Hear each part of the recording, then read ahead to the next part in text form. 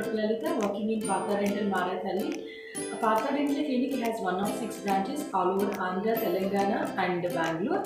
Our Marathalli branch is located in Bangalore, uh, in uh, near to Sri Chaitanya Techno School in Andhra Bank building first floor near Marathalli flyover. For any of your dental complaints, you can visit us. Uh, we are open all the days in a week. Today I would like to discuss with you all about a patient who had come to us with a complaint of broken tooth in his upper front tooth region. He met with an accident and the tooth got broke. He was just 23 and he was worried whether we can save the tooth or not.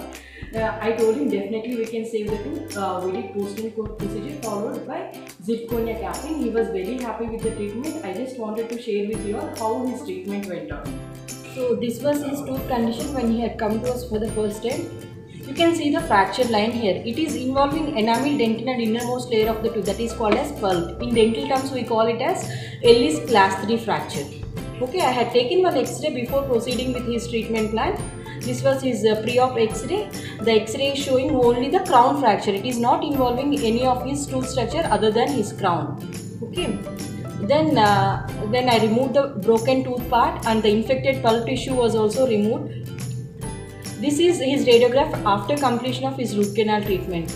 After this we did post and core procedure for him as the crown size uh, crown length is very less followed by zirconia capping. This was his zirconia cap after the treatment and it is looking as normal as his adjacent tooth. He felt very happy with the treatment